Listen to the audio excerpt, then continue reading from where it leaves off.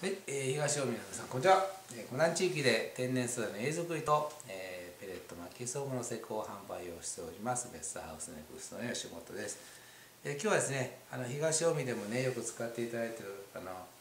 施工事例。こっちはペレットストーブなんですけどもあの雰囲気いいでしょ。これねあのガレージハウスみたいな感じですけどもまあ実はあのバイクのカスタム屋さんです。カスタムバイク専用のあの大津の店でした。えっ、ー、と今ですね石油ストーブを、まあ、3台ぐらい使ってあのやっておるところだったんですけども、まあ、今回このペレットストーブを入れてですねどんだけ、まあ、暖房できるかどうかいうのを、まあえー、試しているか挑戦して、えー、滋賀県のエネルギーを使っていただくということになりました。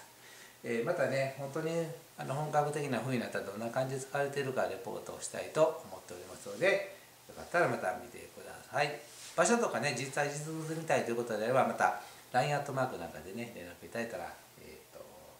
ご案内しますのでよかったらご利用くださいませではよろしくお願いします